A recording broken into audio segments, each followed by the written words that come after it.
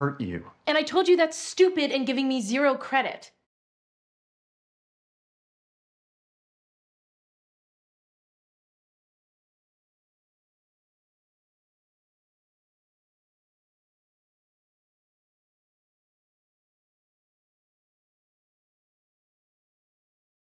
Yeah? Hey, that was the most disgusting display of toxic masculinity. Okay, I don't need you or you or anybody to defend me or my honor or whatever you think makes you entitled to do what you just did. Okay. Love. Accept the punishment for my crime.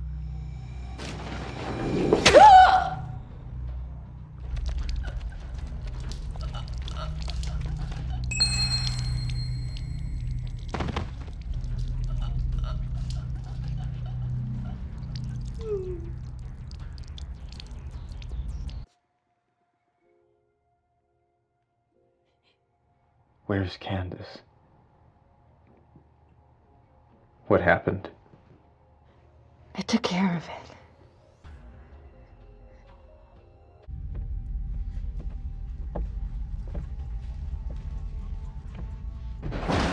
Please just hurry. You'll hurt me. You'll hurt both of us. Just hurry. Please just help me before he gets back.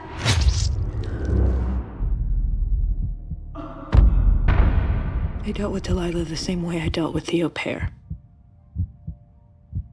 I'm protecting you because I want to, Joe.